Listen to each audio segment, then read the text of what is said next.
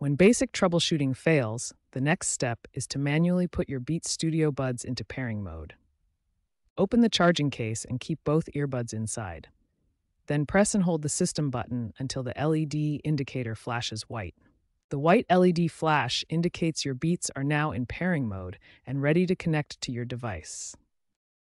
If pairing mode doesn't solve the issue, perform a factory reset to clear all saved connections and return the earbuds to their original settings. Place both earbuds in the charging case with the lid open. Press and hold the system button for 10 to 15 seconds until the LED flashes red and then white.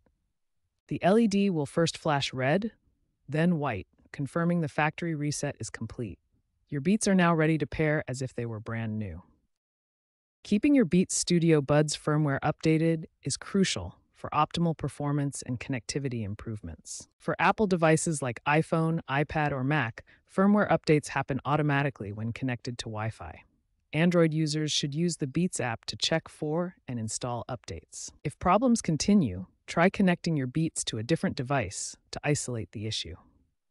Clean the charging contact pins in the case with a dry cloth. If all troubleshooting fails, contact Beats or Apple support for further assistance. Remember, these advanced troubleshooting steps resolve most connectivity issues.